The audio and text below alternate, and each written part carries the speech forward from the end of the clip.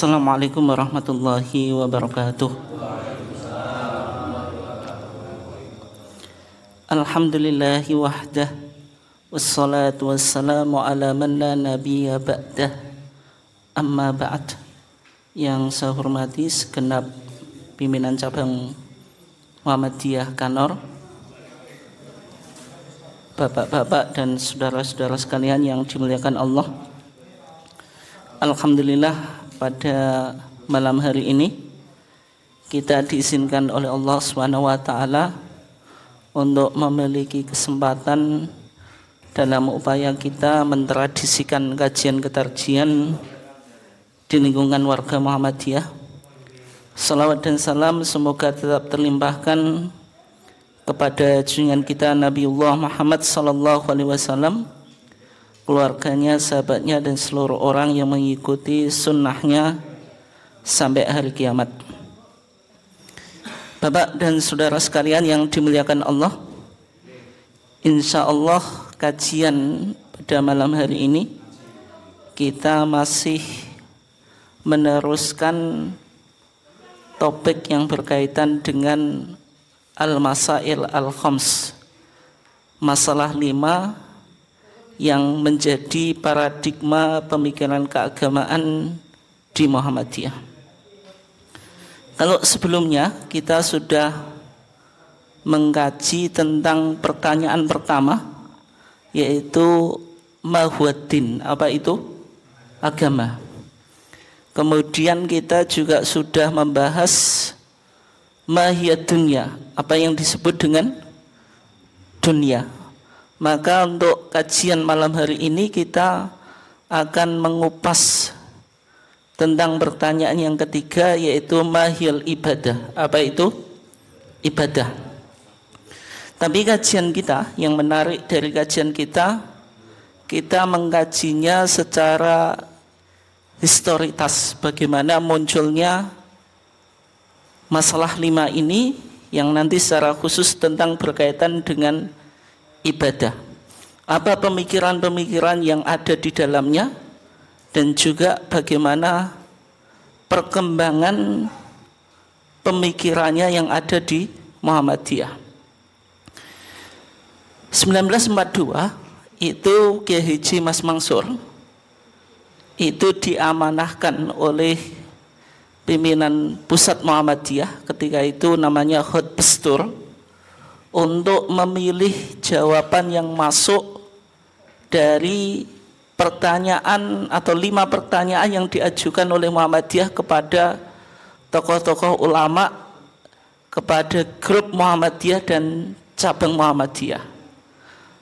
Sebagaimana yang ada atau yang dipublish di SM Suara Muhammadiyah 1938 jawaban yang masuk itu diseleksi oleh Kiai Mas Mansur kemudian dipublish dalam sebuah buku atau kitab namanya kesimpulan jawaban masalah lima dari beberapa alim ulama 1942 diterbitkan oleh Hot Committee Kongres Muhammadiyah Yogyakarta. Ini sudah menjadi kitab yang antik Bapak dan Saudara sekalian.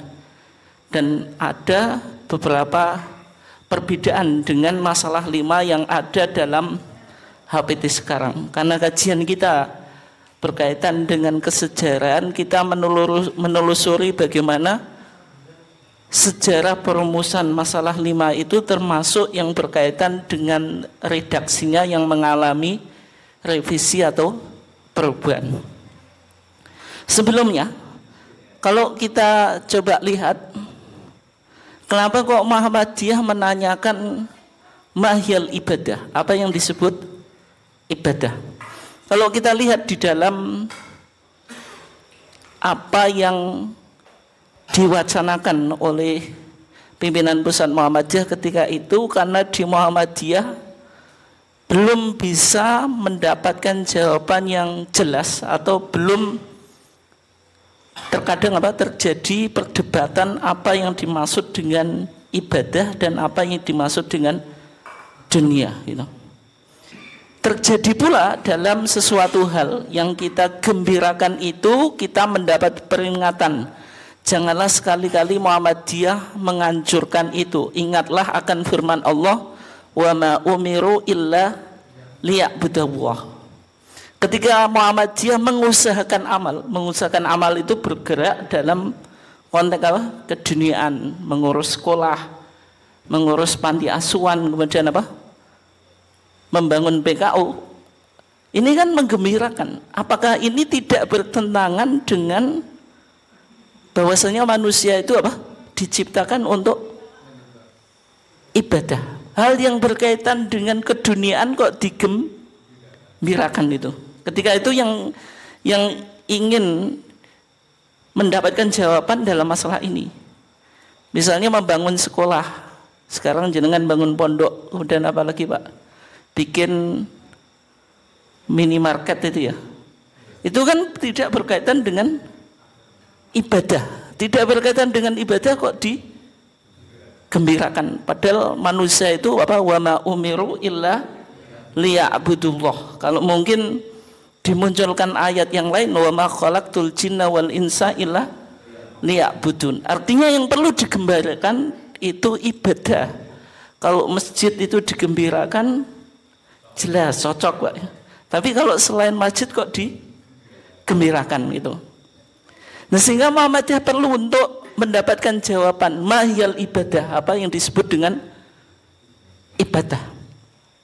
Tapi kalau kita lihat dalam footnote-nya Pak atau catatan kaki ya. Sebenarnya dalam konteks mahiyal ibadah ini Muhammadiyah ingin menanyakan tentang niat gitu.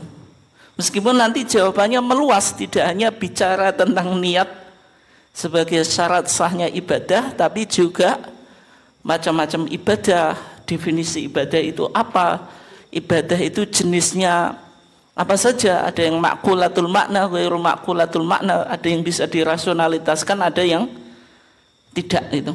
Kalau kita lihat di dalam footnote atau catatan kakinya, adakah ia itu memberi arti yang tertentu tak berhubungan sedikit jua dengan niat orang yakni tak akan berbekas arti niat padanya atau adakah ia itu mempunyai arti yang bergantung kepada niat orang? Barang siapa yang berniat baik baiklah. Dan barang siapa yang berniat busuk busuklah. Artinya Muhammadiyah di sini mempertanyakan tentang apa? Mahiyaniyah apa itu niat dalam ibadah? Termasuk berkaitan dengan perdebatan di tengah masyarakat. Niat itu tempatnya di mana? Di hati perlukah niat itu diucapkan? Ini kan yang menjadi apa? Perdebatan. Niat termasuk di sini Muhammadiyah mengkaji atau mempertanyakan tadi mahian niat dalam konteks apa? Ibadah. Tapi jawabannya Pak yang diterima oleh Muhammadiyah kemudian dibawa juga ke Muktamar Khususi 1954 1955 di Jogja. Itu jawaban Muhammadiyah lebih komprehensif. Bicara tentang apa itu ibadah ibadah itu macamnya apa ibadah itu bagaimana itu meskipun per, pertanyaan dasarnya tentang mahiyal ibadah itu lebih dibawa kepada apa mahian niyah apa itu? Niat. Bisa dipahami tidak bisa ya? Oke ya. Oke. Dari beberapa jawaban yang diterima oleh pimpinan Pusat Muhammadiyah kemudian diseleksi oleh Haji Mas Mansur maka dirumuskan apa yang disebut dengan ibadah. Mahiyal ibadah. Wahia konunun ilahiyun. Ibadah itu peraturan Allah atau peraturan? Tuhan. Bihaitsu nata'abbadu wa nataqarrabu bihi Allah subhanahu wa ta'ala. Yang mana kita beribadah dan mendekat dengan peraturan Tuhan itu kepada Allah itu. Bimtithali awamirihi dengan melaksanakan perintah-perintah Allah. Wajtina binawahi dan meninggalkan larangan-larangan Allah. Jadi konun ilahi peraturan Allah itu ada yang sifatnya perintah, ada yang sifatnya apa? Larangan. Gitu. Ini nanti sudah mengalami revisi Pak di HPT jenengan. Karena kalau jenengan lihat di HPT jilid 1 maka definisi ini sudah ada sedikit apa? perubahan. Tapi esensi ibadah apa tadi? Mendekatkan diri kepada Allah dengan menjalankan apa? perintah-perintahnya dan menjauhi apa? larangan-larangannya. Karena konunun ilahi perintah Allah itu kalau enggak berupa atau peraturan atau undang-undang Allah itu kalau tidak berupa apa? perintah ya berupa larangan. Khudu dengan puncak ketundukan Orang melakukan ibadah itu kan biqayatil khudu. Totalitas apa? Tunduk. Kalau jenengan dalam sholat saja ada apa? Ruku ada sujud. Padahal kalau posisi sujud, ya ayyuhalladzina amanu amanur kau was judu. Sujud itu perintah wajib. Makanya sujud itu menjadi apa?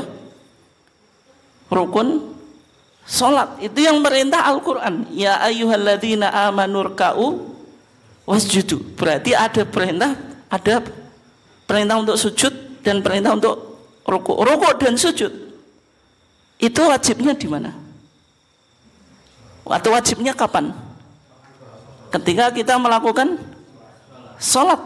Nah, sehingga rukuk dan sujud itu jadi apa? Fardu salat atau wajibnya Sholat ketika sholat itu tanpa rukuk, tanpa sujud, sah atau enggak?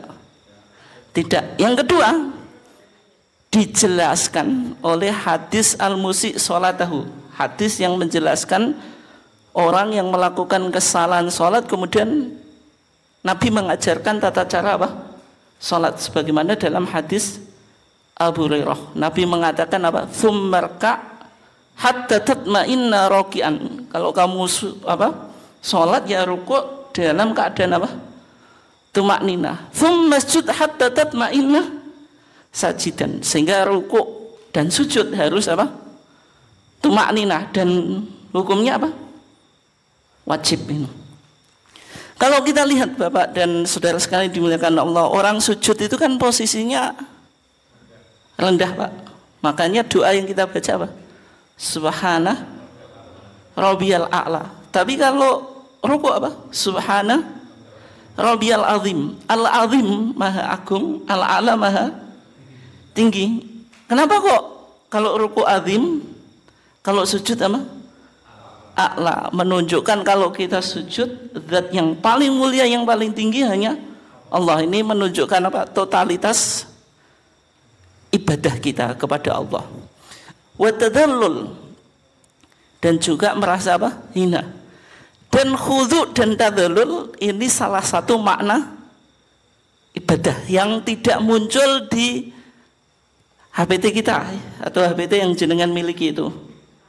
Meskipun definisi ibadah yang dipilih oleh Kiai Mas Mansur ini ditampilkan makna lugawi atau tidak, Pak? Ada makna lugawinya atau enggak? Makna kebahasaan atau enggak? Tidak. Beda dengan mahiyadin, eh mahuadin, Mas Mansur apa? Menjelaskan agama itu secara bahasa kan ada maknanya. Masih ingat atau enggak?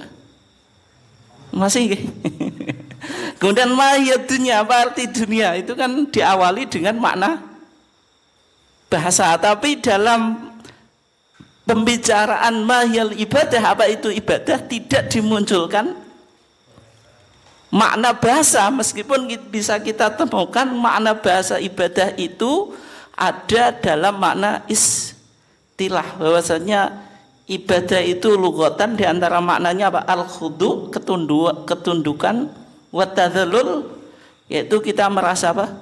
Hina kemudian ada atoah ketaatan kemudian apa? Ada tanasuk yaitu pengabdian kepada Allah ini muncul meskipun dalam HPT jenengan tidak dimunculkan ya. Biniyatin khalisatin dengan niat yang ikhlas. Karena inti ibadah itu harus diawali dengan niat. Karena niat ini menjadikan ibadah kita betul-betul totalitas kepada Allah. Rukuk dan sujud itu kan bisa kepada siapa saja gitu bisa juga kepada orang tidak harus kepada Allah. Tapi kalau kita rukuk dan sujud ke dalam konteks sholat berarti apa? Niatnya ditujukan kepada Allah. Libtigha'i wajhil a'la. Untuk apa? Mendapatkan keridhaan Allah yang maha tinggi itu. Dimunculkan niat itu. Biniatin khalisatin libtigha'i wajhil a'la ini yang tidak muncul di definisi ibadah di HPT kita sekarang Mbak nanti kita apa bahas ya di belakang bagaimana rumusan ibadah diabetes kita yang sekarang ini. Kemudian ketika tadi bicara tentang mahil ibadah, ibadah itu intinya dua, yaitu fi'lul awamir, melakukan apa? Perintah. Yang kedua tarkun nawahi, meninggalkan larangan. Nah, sehingga di sini dijelaskan perintah dan larangan al awamir wan nawahi al ilahiyah perintah-perintah dan larangan-larangan Allah fi'lan au terkan kalau fi'lan secara apa disuruh untuk melakukan kalau terkan untuk meninggal bihaitsu yurattabu alaiha thawab kalau perintah dikerjakan mendapatkan apa pahala. Kalau larangan ditinggalkan juga mendapatkan pahala. Wa tuqdha bihal wajibat. Kalau orang melakukan perintah berarti dia apa? menggugurkan kewajiban. Kalau kita masuk waktu duhur kan kewajiban menjalankan sholat duhur. Ketika kita sudah tunaikan berarti kewajiban sudah gugur gitu. Karena Ja'amatuha al-wahidah ini bicara tentang esensi niat Pak. Bicara tentang apa? Esensi niat ini. Yang menjadi pokok dari melakukan perintah atau larangan tadi Hiya al-irada al-mutawajjihatu nahwaha. Adalah kehendak yang ditujukan pada ibadah tadi. Bil fi'li awitarki dengan melakukan atau meninggalkan. Al mu'abbarah biniat. Yang diekspresikan dengan niat. Menunjukkan pentingnya apa? Niat kan sesuai dengan pertanyaan yang ingin diperoleh oleh oleh siapa Pak? Oleh pimpinan pusat? Muhammadiyah ketika bicara mahil ibadah Muhammadiyah ingin tahu tentang substansi niat kan tadi. Sehingga niat itu apa? Kehendak yang ditujukan kepada ibadah tadi dalam melakukannya atau meninggalkannya yang diekspresikan dengan apa? Niat. Wa mahalluha al-qalbu. Niat tempat niat itu di hati ini ijma'an Pak semua ulama sepakat kalau niat itu tempatnya di hati. Sehingga niat itu amalun kolbiyun. Amalan hati, Pak. Itu. Amalan hati itu niat. Wala tibaro bi Selain di hati tidak di tidak dianggap. Sehingga orang yang mensunahkan talafut biniat, misalnya madhab Syafi'i itu. Kalau jenengan belajar sulam safinah atau safinatun najat ya, niat itu apa? Wa mahalluha al-qalbu. Wa mahalluha utawi panggenane niat iku al-qalbu ati. Terus apa, Pak? Wa talaffudu biha sunnatun. Melafatkan niat itu sunnah, Pak, di safinatun najat ya Madhab Syafi'i yang beranggapan bahasanya melafatkan niat itu apa? Sunnah. Tapi kalau orang melakukan sholat, Mbak, antara lisan dengan hatinya itu berbeda. Misalnya jenengan mau sholat besok ya, sholat apa? Subuh itu dalam hatinya usolli fardo subhi rakaat ini mustaqbilal kiblati adaan makmuman atau imaman pak? Adaan makmuman pak. Imamnya satu saja. Jangan semuanya imaman nanti nggak ada makmumnya. Kalau makmum banyak boleh. Tapi imam cukup satu. Adaan makmuman lillahi ta'ala. Itu dalam hatinya tapi lesannya jenengan usolli fardo adhuhri meskipun kakean butuhan pak. Gitu. apa mau sholat nggak fokus gitu. Wis aktivitasnya wis terpikirkan ya. Mau apa yang dilakukan. Sehingga usolli fardo zuhri dalam lisannya. Sholatnya sah atau enggak sah atau enggak hatinya bilang subhi fardu subhi. Lesannya fardu zuhri atau enggak dalam madhab syafi'i? Sah atau enggak pak? Eh? jawabannya sah pak. Kenapa kok sah? Niat itu di hati melafatkan itu hanya sunnah sehingga kalau kontradiksi antara apa? Hati dan lisan yang dipertimbangkan yang mana? Yang hati. Dalam madhab syafi'i semacam itu ya. Itu. Dalam madhab syafi'i semacam itu memang. Tapi masalahnya kan gini pak. Karena melafatkan niat itu sudah menjadi politik identitas. Sesuatu yang sunnah seakan-akan menjadi wajib pak kayak kunut dalam madhab syafi'i tidak pernah dibilang kalau kunut itu rukun sholat dia menjadi sunnatul abad. Sunnatul abad itu sunnah setengah wajib. Kalau ditinggalkan apa? Disunahkan untuk sujud sawi disunatkan bukan diwajibkan. Tapi karena sudah menjadi politik identitas di masyarakat yang mengikuti madhab syafi'i berani atau enggak? Enggak kunut subuh. Enggak, karena sudah menjadi politik identitas. Seolah-olah menjadi apa? Wajib gitu. ya. Nah, sehingga ini penting, Pak. Rumusan niat dalam apa? Muhammadiyah 1942 Muhammadiyah merumuskan niat bahwasanya niat itu tempatnya apa? Di hati gitu. Tempatnya apa?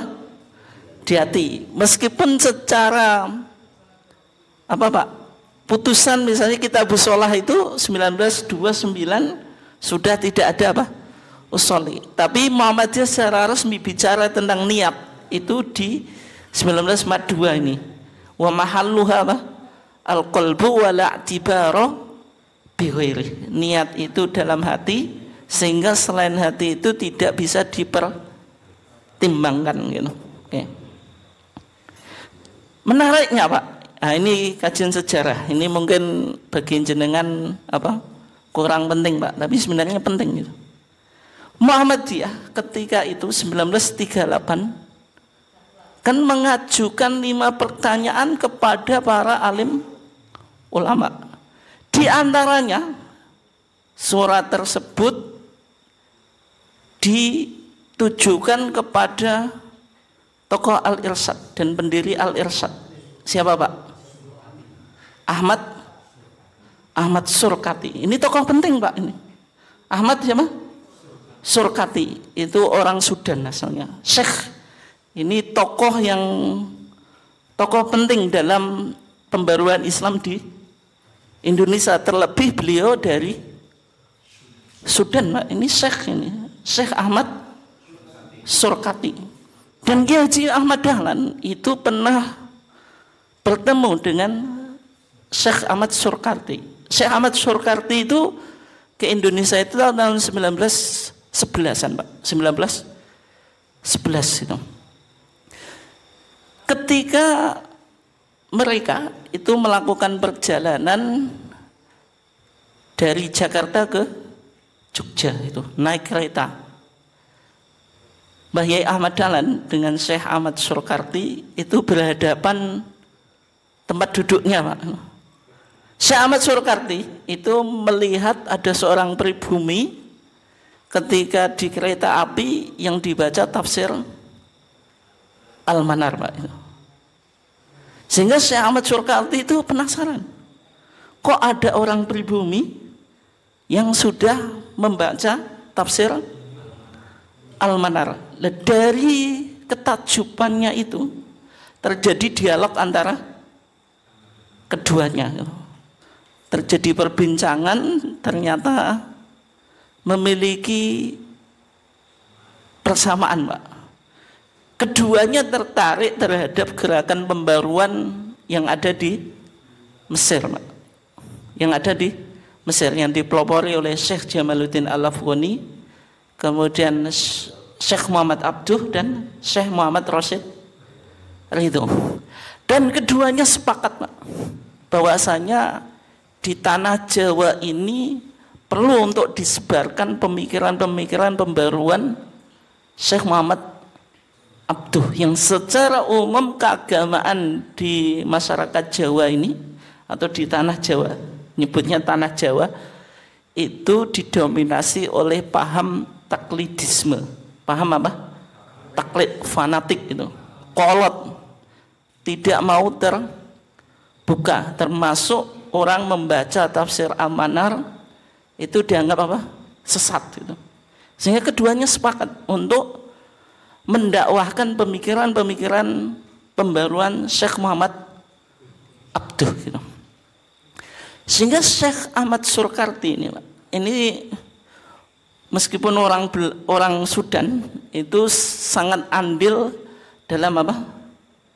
menyebarkan pembaruan di Indonesia dan memiliki hubungan yang cukup baik dengan dengan Muhammadiyah Pak itu.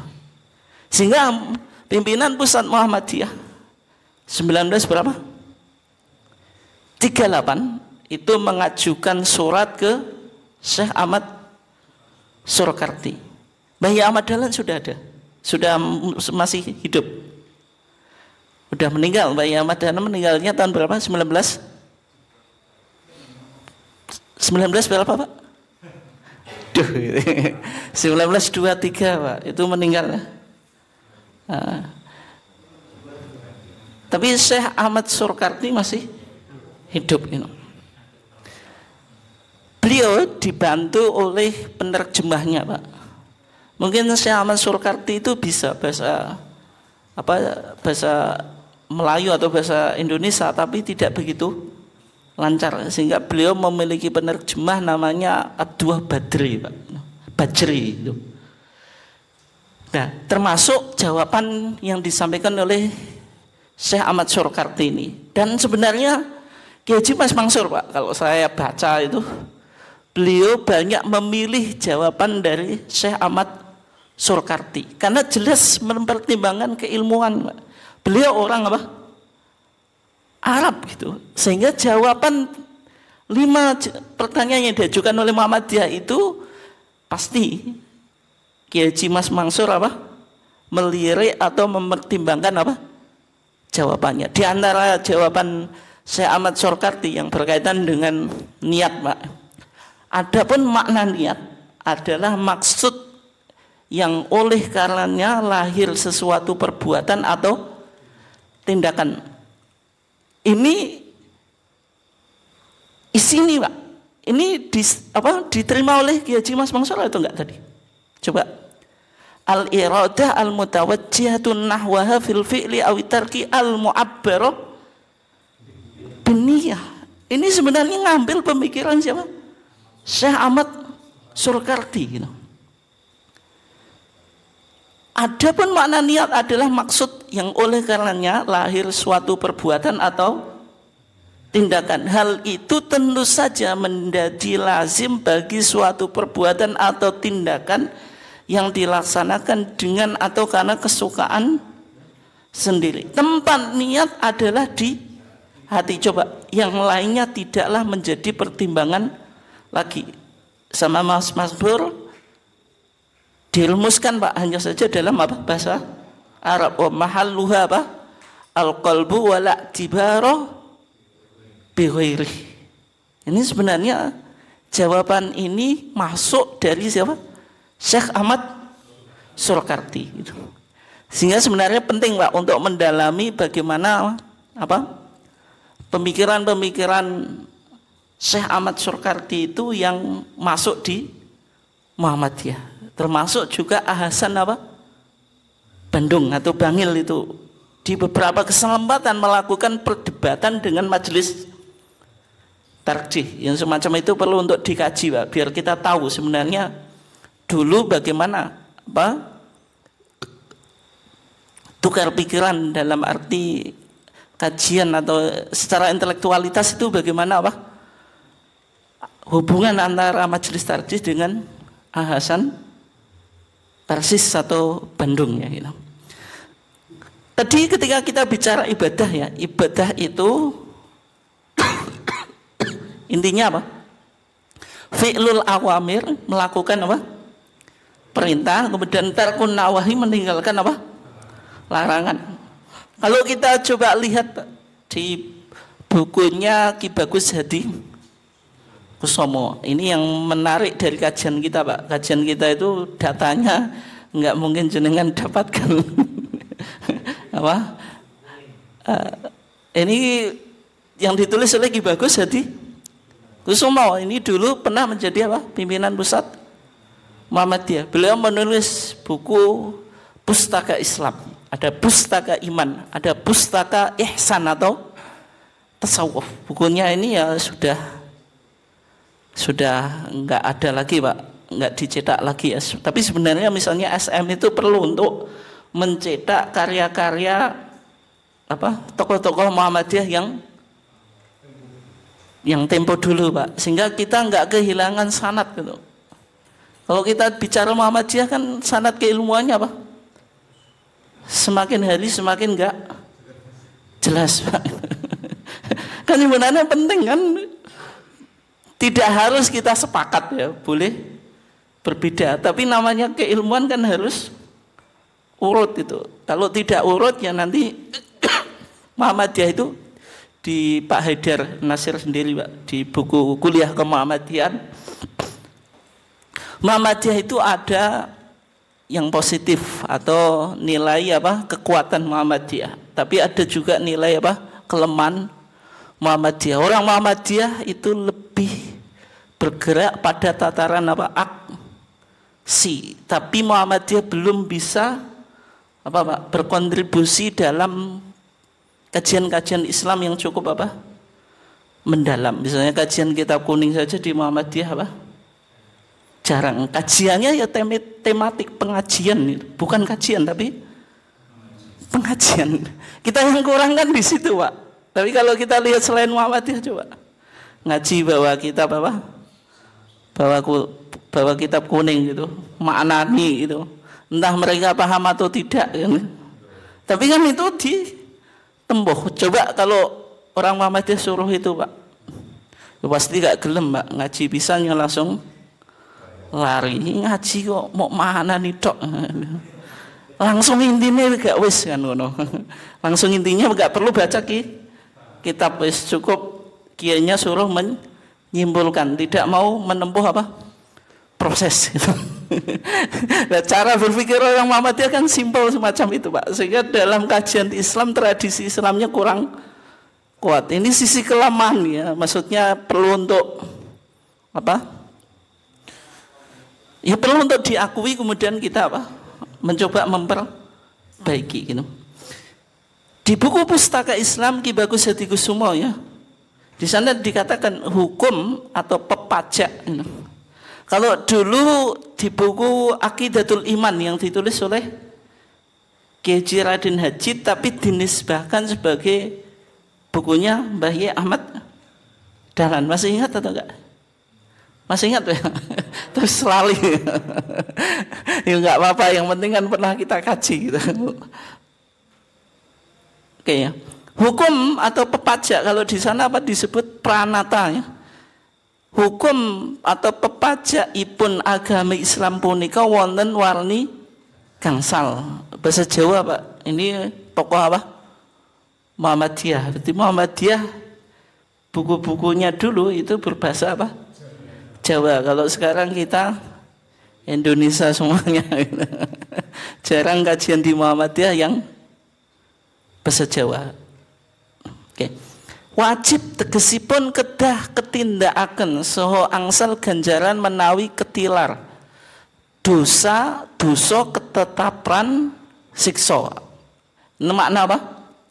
Wajib. Maksudnya harus apa? Dilakukan. Kalau dilakukan mendapatkan apa? Pahala kalau ditinggalkan dapat siksa. Sunnah tegesipun prayogi ketindakaken serta pikantuk ganjaran menawi ketilar mboten punopo punopo. Artinya apa? Sunnah itu kalau dilakukan dapat pahala, tapi kalau ditinggalkan tidak apa-apa. Haram tegesipun kedah ketilar harus ditinggalkan. So angsal ganjaran menawi ketindakaken kalau dilakukan eh kalau ditinggalkan apa? Dapat pahala. Dosa kapat terapan siksa. Maksudnya kalau dilakukan apa? Dapat siksa. Mekruh tegesipun prayogi ketilar. Hanya sekedar rekomendasi. Serta pikantuk ganjaran. Kalau ditinggalkan ya dapat ganjaran. Menawi ketindakan boten punopo punopo kalau dilakukan tidak ada konsekuensi apa? Dosa. Mubah utawi apa pak kasrah kasrah itu tergantung apa kok tergantung? Terserah. Tegesipun apa? Kenging ketindakan kenging ketilar. Boleh dilakukan boleh tidak. Mboten wonten punopo punopo punopo pun maksudnya nggak ada konsekuensi apa pun. Itu berkaitan dengan apa tadi? Fi'lul awamir watarkun nawahi. Artinya perintah itu ada yang sifatnya wajib harus dilaksanakan, ada yang sekedar rekomendasi. Kalau yang wajib ya disebut wajib atau fardu, yang rekomendasi apa sun sunnah. Kemudian larangan itu ada yang harus ditinggalkan namanya apa? Haram. Ada yang sekedar dianjurkan untuk ditinggalkan namanya apa? Makruh. Tapi di tengah-tengah itu apa? Ada mubah, tidak ada konsekuensi apa pun. Jadi kesimpulan kita wajib lawannya apa Pak? Haram. Sunnah lawannya apa? Makruh.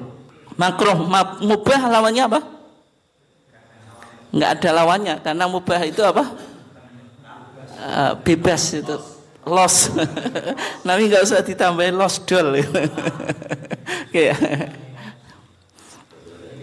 Kemudian kalau kita coba kaji lebih dalam lagi ya tentang kedudukan niat dalam ibadah. Tadi niat itu apa?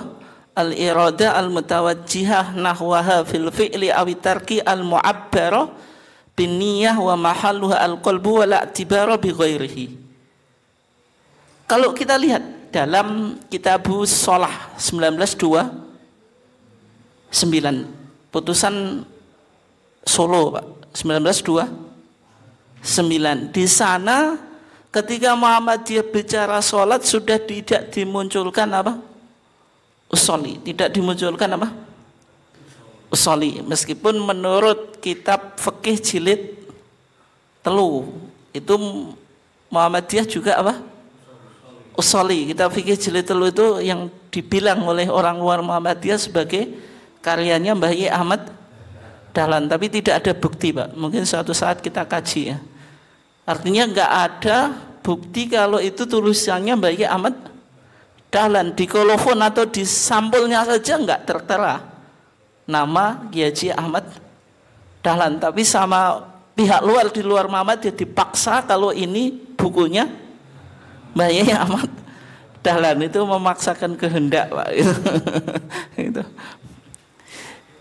1929 kalau kita lihat di kitab sholah itu sudah tidak muncul lagi apa usolli atau talafut bin niat. Di sana dikatakan idza qumta ila sholati faqul Allahu akbar. Kalau engkau mau sholat ucapkanlah Allahu akbar mukhlison niyataka lillah mukhlison haling ikhlasake niyataka ing niat ira lillahi mung Allah menunjukkan kalau Muhammadiyah sudah meninggalkan madhab syafi'i yang mana dalam madhab syafi'i itu niat itu apa? Disunahkan untuk ditalafutkan. Meskipun demikian Pak ternyata ada sebagian dari sahabat-sahabat Imam Syafi'i atau Ashabus Syafi'i yang punya pandangan bahwasanya niat itu ya hanya di hati tidak perlu untuk diucapkan. Itu sama dengan kitab Al-Muhadzab. Kitab Al-Muhadzab ini yang ditulis oleh Syekh Abu Ishaq Asy-Syairazi Pak kitab ini cukup otoritatif ya dalam adab apa Syafi'i dikomentari oleh Imam Nawawi atau disarai Pak namanya Al-Majmu' Syarhul muhadzab itu. Dan kitab ini oleh majelis tarjih itu dipakai dalam merumuskan kitabus sholah Pak. Makanya hadis yang berkaitan dengan istiadah atau hadisnya Abu Sa'id Al-Khudri yang berkaitan dengan apa? Istiadah. Kalau Nabi itu sebelum membaca Al-Fatihah mengucapkan apa? A'udzu billahi minasyaitonir rajim itu kama qalahu fil muhadzab sebagaimana hadisnya disebutkan dalam kitab Al-Muhadzab. Sehingga Muhammadiyah meskipun 1929 itu sudah menyimpang dari madhab syafi'i Pak. Tapi bukan berarti Muhammadiyah meninggalkan kitab madhab syafi'i. Artinya kitab-kitab madhab ini tetap dijadikan pertimbangan untuk kembali pada Quran dan hadis atau sunnah itu. Sebagai bahan apa? Pertimbangan. Meskipun acuan kita itu apa? Quran dan sunnah bukan pendapat madhab tapi untuk memahami Quran dan sunnah tetap mempertimbangkan apa kitab-kitab madhab sehingga Muhammadiyah itu tidak bermadhab tapi juga tidak anti madhab kalau tidak bermadhab saja Pak semangat itu nanti hasil ijtihadnya banyak menyesatkan karena tidak melihat kitab ulama langsung Quran dan sunnah baca Al-Quran apa Pak? Terjemahan Depak, kemudian terjemahan Bulughul Maram, kemudian berijtihad. Itu banyak menyesatkan. Banyak menyesatkan. Ijtihadnya pakai akal, tidak pakai instrumen atau metodologi ulama gitu. itu kan modelnya semangat saja Pak. Oke ya. Di Al-Muhadzab di sana dikatakan wamin ashabina dan di antara sahabat-sahabat kami maksudnya sahabat dalam madhab apa? Syafi'i man kola ada orang yang berpendapat yanwi bil kolbi seseorang itu kalau mau sholat niatnya dengan hati wa yatalaffadu bil lisan dan melafatkan dengan lisan. Coba di kitab ini dijelaskan apa Pak? Walaysa bisyai'in. Pendapat itu tidak betul. Li'anna niyata hiyal qasdu bil qalbi. Karena niat itu menyengaja dengan hati gitu. Artinya kalau Muhammadiyah tidak talafat biniat itu sebenarnya ada kaul, ada pendapat juga dari dalam madhab apa?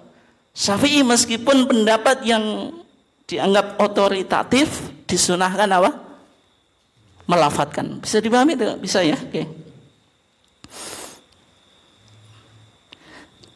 Kalau kita lihat di HPT 1929 Pak idza kumta ila sholati faqul Allahu akbar mukhlishan niyataka lillah.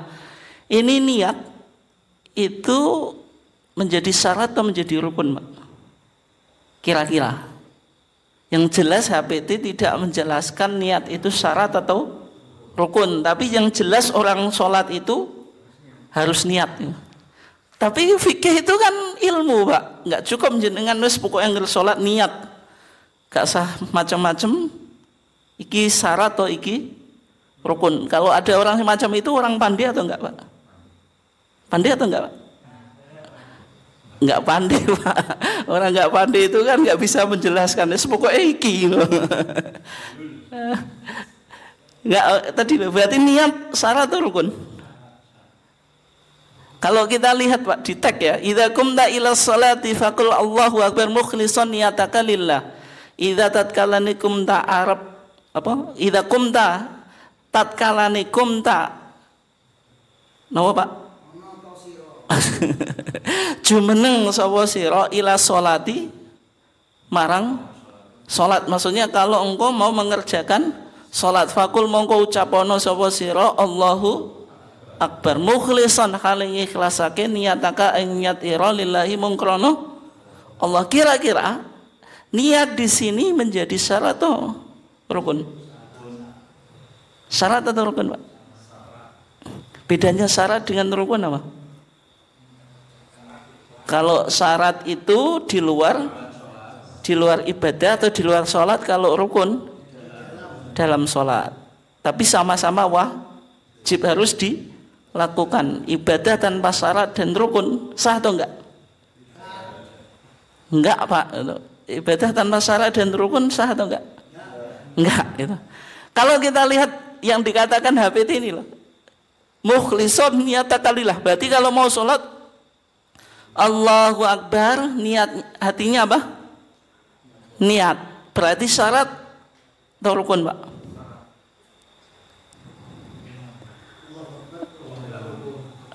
Syarat rukun, Pak? Rukun, Pak. Sebagaimana dalam adab apa? Syafi'i. Definisi niat dalam adab Syafi'i apa, Pak? Di Sulam Safinah itu Safinatun Najat. Qasdu syai' muktarinan bifi'lihi. Qasdu syai' menyengaja sesuatu muktarinan dengan apa? dibarengkan bifili dengan melakukan sehingga tempat niat itu di awal yang wajib dari ibadah. Kalau jenengan wudhu, niatnya di mana pak? Dalam mata Syafi'i. Kalau jenengan wudhu, itu kapan niatnya? Ketika membasuh muka di dalam hatinya Pak meskipun nawaitul wudhu'a itu sebelum itu. Tapi nawaitul wudhu'a itu kan belum wajib Pak. Baru sun sunnah. Kalau orang madhab syafi'i usolli itu baru sunnah Pak. Wajibnya itu di hati. Bisa dipahami atau enggak? Bisa ya, ya. Nah, kalau kita wudhu itu kapan niat wajibnya? Kapan? Ketika membasuh muka. Kenapa kok ketika membasuh muka? Karena muka itu kewajiban pertama dalam wudhu. Mencuci tangan. Itu kan sunnah. Kemudian apa? Menghirup air ke hidung, menyemprotkan. Itu kan sunnah itu. Mat-matuh atau istinsak itu Pak. Ya. Nah kalau sholat, kewajiban pertama apa Pak? Allahu Akbar atau berdiri dulu Pak? Dulu mana berdiri sama Allahu Akbar? Eh? Berdiri ya. Tapi sholat itu diawali dengan apa Pak? Berdiri atau takbiratul ihram? Sekarang dulu mana berdiri dengan takbiratul ihram? Tapi kalau jenengan suruh mengurutkan rukun niat yang eh rukun sholat yang pertama apa Pak? Takbiratul ihram. Tapi jenengan berdiri dulu atau takbiratul ihram dulu? Berdiri. Berarti rukun salat apa?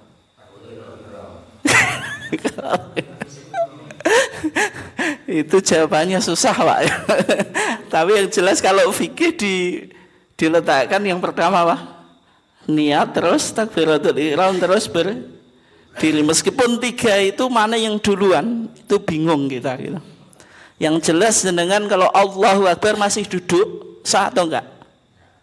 Tidak sah, tidak sah Pak. Kalau saya misalnya mau sholat Allahu Akbar baru saya berdiri sah atau enggak? Tidak. Hah? Nah kan duduk. Berarti namanya mau sholat harus berdiri dulu. Tapi sholat itu definisinya diawali dengan takbir bukan dengan berdiri. Iya. Kembali ke sini berarti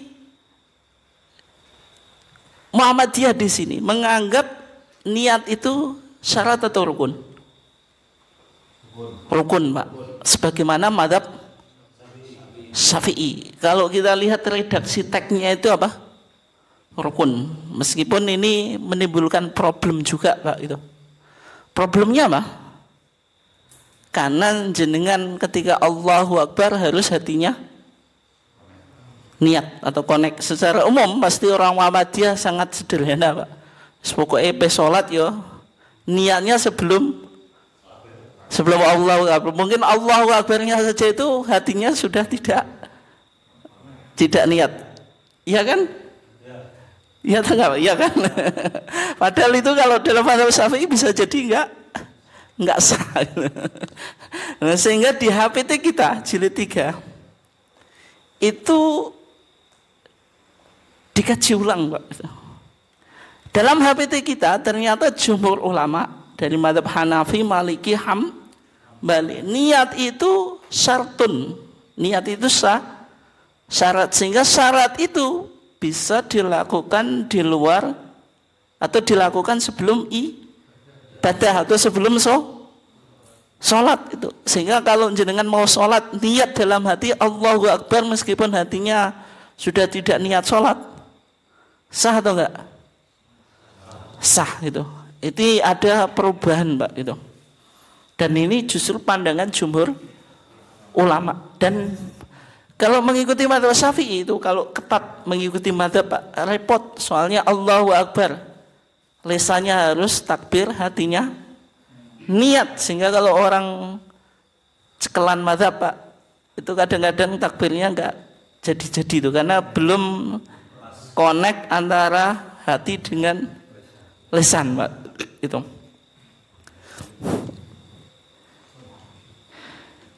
Berikutnya dari definisi ibadah ini, Pak.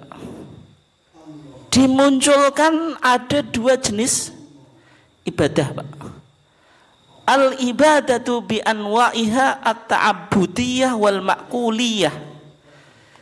Ibadah dengan segala macamnya, Pak. Ada yang sifatnya at-ta'abbudiyah. Ta'budiyah itu diterjemahnya dikatakan Pak menghamba dan tidak bisa ditemu hikmahnya dengan akal. Berarti kalau disebut ta'abudi tidak bisa dirasionalitaskan. Misalnya sholat duhur itu kenapa empat rakaat Pak? Dengan bisa pakai pendekatan akal. Bisa atau enggak Pak? Bisa atau enggak? Tidak bisa Pak. Padahal sholat duhur itu kalau di masyarakat kita waktunya apa Pak? Istirahat atau bekerja kan gitu. Kenapa kok malah empat rokaat gitu? Kenapa Pak? Ya waktunya istirahat ya. Kemudian misalnya zakat itu satu sok satu sok itu berapa? Empat mut ya. Empat mut itu satu mutnya berapa Pak? Enam on. Berarti enam kali empat dua kilo empat on. Digenapkan menjadi dua kilo setengah gitu. Kenapa kok zakatul fitri itu satu sok? Untuk zaman sekarang itu mencukupi orang miskin atau enggak? Dua kilo setengah itu kalau diuangkan berapa pak?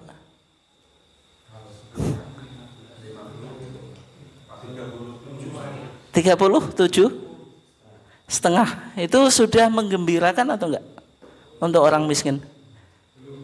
Belum. Berarti zakat fitrah sekarang belum menggembirakan Pak. Perlu ditambah atau enggak? Kenapa enggak, enggak perlu ditambah?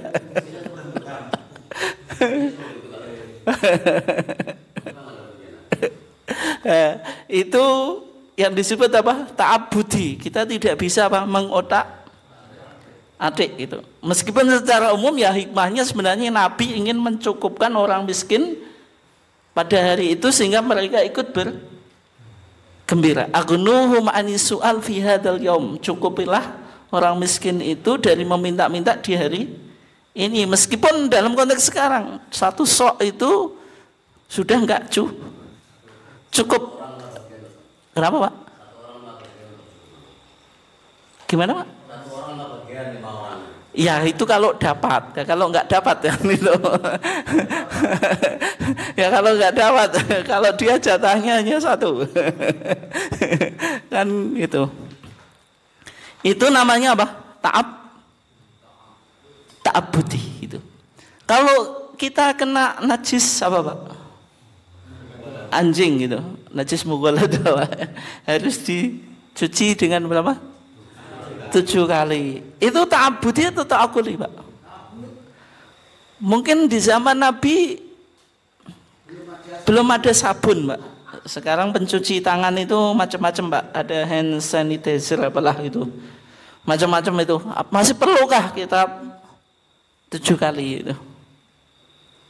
Kan secara logika bisa jadi di zaman Nabi belum ada apa sabun macam-macam pak, sehingga Nabi mengharuskan tujuh kali. Itu ta'akuli atau ta'abudi? Itu ta'abudi, bukan ta'akuli. Ini menariknya, berarti Muhammadiyah 1942 pak sudah melihat bahwasanya ibadah itu ada yang ta'abudi yang kita tidak tahu hikmahnya harus sam'an wa ta'atan atau sami'na wa ta'na. Ada yang ta'akuli yang memungkinkan untuk diijtihadi. Dari rukun Islam itu Pak. Sholat itu itu ta'abudi itu ta'akuli ta'abudi puasa. Ta'abudi haji. Ta'abudi itu ta'akuli Pak. Atau jenengan jangan ta'akuli ya sehingga haji tidak harus di Kalau zakat itu tak atau tak akuli pak? Atau tak akuli? Enggak zakat zakat. Itu bisa tak akuli, bisa tak budi. Munculnya zakat profesi itu sebenarnya melihat zakat itu tak akuli pak. Dimensinya apa? Sosial. Jenengan zakat fitri dengan uang pak Nabi pernah zakat fitri dengan uang. Tapi kenapa kok jenengan pakai uang? Tak budi itu tak akuli. Nah, kalau yang membolehkan pakai uang, tak akuli termasuk Muhammadiyah. Tapi misalnya teman-teman Salafi mengatakan tak budi berarti tidak sah zakat pakai uang. Di sini Pak perbedaan ijtihadnya semacam itu ya. Misalnya Ru'yatul Hilal itu tak budi itu tak akuli. Hah? Kalau jumhur mayoritas umat Islam ya tak abudi, makanya tetap mempertahankan apa? Royatul hilal gitu. Bagi Muhammadiyah tak kuli bisa diijtihadi. Yang penting kita bisa masuk bulan bulan berikutnya atau yang penting bisa menentukan kriteria awal bulan tidak harus pakai ru'yatul hilal itu. Nah, sehingga di definisi agama ini menarik karena Muhammadiyah sudah bicara ta'akuli dan ta'abudi. Yang ta'akuli ini memungkinkan di ij di hati. Misalnya zakat profesi tidak pernah di, ada di zaman Rasulullah. Tapi profesi yang sekarang berkembang luar biasa. Dokter, insinyur apalagi Pak? Pejabat publik gitu yang gajinya luar biasa gitu dalam satu bulannya. Yang petani panennya tiga bulan sekali pak. Ini tadi nisabnya apa? Lima wasak lima wasak itu kurang lebih tujuh kintal setengah itu kena kadar zakatnya lima atau sepuluh persen. Lima wasak tujuh kintal setengah berupa beras itu berapa pak? Berapa kalau diuangkan. Kalau misalnya eh, sepuluh ribu ya tujuh juta. Setengah tujuh juta setengah tiga bulan pak. Itu kena zakat dua eh lima atau sepuluh persen. Kalau airnya tidak beli ya sepuluh. Kalau beli ya lima. Nah, sekarang dokter satu bulannya berapa pak? Ya, puluhan. Ada dalilnya secara khusus pak atau enggak pak tidak ada. Berarti dokter nggak wajib, petani wajib ya lempok pak. Jadi termasuk dalam pandangan madhab syafi'i itu zakat itu hanya makanan pokok sehingga bawang, tomat, lombok tidak disakati. Tapi sekarang makmur mana pak? Petani padi dengan petani lombok kemudian bawang Mbako 50 ribu pak eh, itu kira-kira kewajiban zakat atau enggak? Uh, sehingga Muhammadiyah melakukan ijtihad. Sehingga meskipun tidak makanan pokok tapi ada nilai apa? Ekonomis ada nilai profit dikiaskan dengan padi atau makanan pokok. Berarti petani tembakau petani apa? Lombok bawang itu kalau hasil panennya senilai. Kalau misalnya tadi tujuh kintal setengah berapa? Diuangkan tujuh juta setengah ya berarti apa? Mengeluarkan zakat. Itu tak akuli. Itu apa? Tak akuli. Sehingga rumusan apa tadi? Mahiyal ibadah itu penting pak. Ada taat budi ada taat kuli. Yang di HPT kita Pak, ini sudah jadi ya, itu tidak muncul. Sebenarnya ini penting untuk dimunculkan sehingga apa? Orang Muhammadiyah itu bisa tahu kalau saya pakai hisap, oh ini tak akuli, bukan tak tak budi. Misalnya zakat fitri pakai apa? Pakai uang ini tak kuli, bukan tak budi. Kalau tak budi ya wajib pakai pakai kurma. Gitu. pakai kurma atau pakai beras pak? Nah di apa HPT kita yang hasil putusan Jogja 1954 1955 itu ketika bicara ibadah ibadah itu apa? At-taqarrubu ilallah bimtithali awamiri wajtinabi nawahi. Ini ada ya. Wal amali bima nabi syari. Ini yang Muhammadiyah ingin apa mengakomodir kalau mau amalat duniawiyah itu kalau diniati untuk ibadah ya dapat pahala ibadah. Kemudian ibadah itu ada yang khosoh, ada yang amah, ada yang khusus, ada yang umum. Kalau umum itu ibadah apa? Ghairu makdoh. Kalau khosoh ibadah makdoh. Kalau yang umum itu berarti mau ibadah muamalat dunia wiyah semua aktivitas keduniaan kalau diniati ibadah ya dapat pahala. Kalau ibadah khosoh ini yang disebut ibadah maktuh. Sehingga kajian ini penting, Mbak. Sehingga kalau kita membaca yang di HPT kita itu sebenarnya pemikirannya itu kan sebenarnya kalau bisa kita dalami ya dari jawaban Mas Mangsur tadi ada ta'akuli, ada apa? Ta'abudi dan niat itu bagaimana dan seterusnya itu ya. Mungkin sekian kajian kita, silahkan kalau ada yang ingin ditanyakan.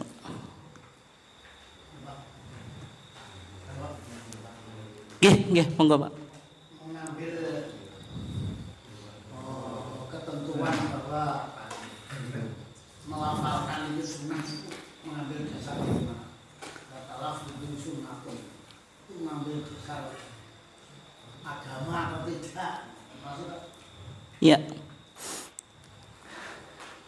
Dalam madhab syafi'i bahwasanya mentalafotkan niat itu sunnah itu dasarnya apa gitu. kalau kita lihat di Al-Muhadzab kitab Al-Muhadzab itu belum belum menjadi kitab muktamad Muktamad itu pendapat otoritatif Pak ya. Madhab Syafi'i itu mengalami perkembangan Pak. Di Imam Syafi'i nanti punya murid-murid seterusnya ya. Sampai di era Imam Rafi'i dan Imam Nawawi. Ini yang disebut apa Pak? Marhalatu tahrir Pak. Masa madhab Syafi'i itu semakin apa Pak? Semakin jelas dalam apa? pandangannya. Kitab-kitab sebelumnya itu belum bisa dianggap pendapatnya madhab syafi'i kecuali apa? Sudah dinyatakan oleh Imam Nawawi atau Imam Rafi'i gitu. Makanya kalau pendapat otoritatif madhab syafi'i itu meski itu yang disepakati oleh Syekhon Imam Nawawi dan Imam Rafi'i. Kalau misalnya enggak di, ada kesepakatan didahulukan Imam Nawawi baru Imam Rafi'i dan seterusnya Pak.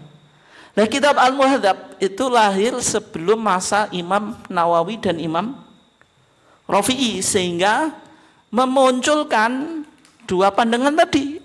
Ada yang mengatakan niat itu harus disunahkan apa?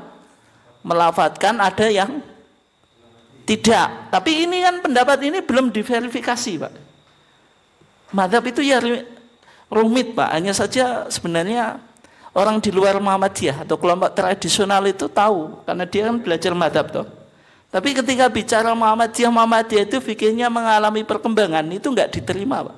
Muhammadiyah ya fikirnya harus sama dengan bayi Ahmad dalam umat Syafi'i saja mengalami perkembangan sehingga kalau Muhammadiyah itu fikirnya mengalami perkembangan ya wajarnya pemikiran itu ada perkembangan. Sebagaimana madhab Syafi'i juga mengalami apa? Perkembangan. Nah, dalam pandangan Imam Rafi'i dan Imam Nawawi Pak di kitab Al-Muharrar kemudian di kitab Minhajut Talibin di sana dikatakan wa yundabu an-nutqu biha, disunahkan mengucapkan niat kubaila takbir sebelum takbir, Pak. Itu disunahkan. Kenapa kok disunahkan? Ada dua alasan, Pak. Yang pertama dikiaskan dengan haji. Dikiaskan dengan apa? Haji. Nabi itu kalau mau haji niatnya apa? Labaika hajjan wa umrotan gitu. atau labaika hajjan atau labaika umrotan saja tergantung jenis hajinya di konteks haji Nabi bilang apa? Khudu anni mana sikakum. Kalau haji suruh nyontoh manasiknya Nabi. Sholat Nabi bersabda apa? Solu kama ra'aitumuni usul intinya sholat dengan haji harus meniru Nabi gitu. Nabi dalam haji niatnya di dilafatkan sehingga sholat dikiaskan dengan haji ulama yang menyatakan sunnah mentalafatkan niat itu enggak ada hadis secara khusus mereka paham sehingga yang mereka pakai apa kias yang mereka pakai apa kias tapi kias ini dalam paham keagamaan Muhammadiyah Pak itu mengalami apa problem. Problem yang pertama apa? Di Muhammadiyah ada kaidah apa? La qiyasa fil ibadah. Ibadah itu tidak berlaku kias. Nanti kalau jenengan sudah masuk pertanyaan yang kelima Pak, mahil mahwal kias. Kita akan gali ya. Kalau Muhammadiyah itu tidak menggunakan kias dalam konteks ibadah. Kias itu dipakai di konteks muamalat atau ibadah tapi yang takuli tadi Pak bisa di rasionalitaskan sehingga tadi zakat apa nggak zakat yang tadi loh. Bawang lombok dikiaskan ke padi. Artinya apa? Iba, zakat itu ibadah tapi dia tak kuli bukan tak abudi. Nah di sini haji tak abudi sholat apa? Tak budi atau tak kuli pak? Eh, jenengan ikut mikir lah gitu. Apa tak budi itu tak Tak budi sehingga tak budi dengan tak budi la kiasa fil ibadah tidak ada kias di ibadah gitu. Sehingga nggak boleh dipakai. Yang kedua, kias itu harus memenuhi empat rukun, Pak. Ada asal, pokok, fara, cabang, ada ilah, yaitu kausa yang menghubungkan Dua hal itu Pak. Kemudian ada hukum. Namanya asal dengan far, pokok dengan cabang itu lebih dulu mana Pak? Kalau jenengan nanam tanam apa Pak? Tumbuhan wit apalah itu pokok dulu tuh terus tumbuh cabang Pak. Pokok dulu. Sehingga pokok itu harus dulu. Maksudnya dalam kias itu pokok itu yang ada dalilnya yang cabang yang tidak ada apa dalilnya secara khusus. Dan sekarang yang ada dalilnya Nabi melafatkan niat itu haji atau sholat? Haji. Berarti haji apa? Pokok. Sholat apa? Pokok.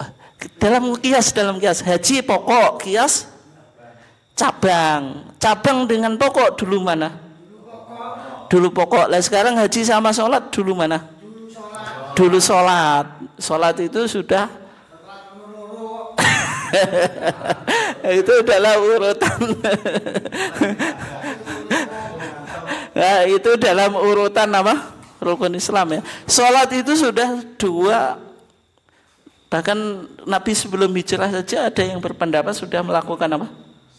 Sholat. Meskipun kalau misalnya dikatakan tahun 2 hijriah pak tapi sebelum itu sudah melakukan apa? Sholat. Haji Nabi baru haji itu haji wadah pak itu kan. Eh, Nabi meski artinya terlepas dari itu ya. Nah, haji itu sekitar diwajibkan itu ada yang mengatakan 6 hijriah pak. Tapi Nabi melakukan haji wadah tahun berapa pak? 10 10 atau 11 pak? 11 ya. Hijriah ya. Artinya haji itu kan lebih belakangan daripada sholat. Yang kedua pak, ini taklili. Taklili itu pendekatan rasional ya. Di kitab fikih madhab syafi'i dikatakan, kenapa kok dianjurkan talafut biniat? Liusa ida al-lisanu al-kolba liyusa ida supaya menolong alisanu lisan al kolba hati. Berarti kalau jenengan talafut dengan niat itu membantu hati. Tapi asal niat itu di hati atau di lisan, Pak? Di hati. Berarti yang membantu siapa? Hati membantu lisan atau lisan membantu hati? nah, itu kan jadi problem, Pak. Seharusnya apa? Lisan eh hati membantu lisan bukan lisan membantu hati kan itu itu dalil taklili sehingga dari sini kalau itu dianggap sunnah itu kan argumentasinya tadi pak kita lihat apa bermasalah sehingga di Muhammadiyah ataupun dalam madhab yang lain misalnya madhab Hambali kemudian apa Hanafi itu tidak menganjurkan talafut biniat gitu itu. Itu. Yang lainnya sudah ya, cukup. Cukup kita tutup dengan bacaan hamdalah. Assalamualaikum warahmatullahi wabarakatuh.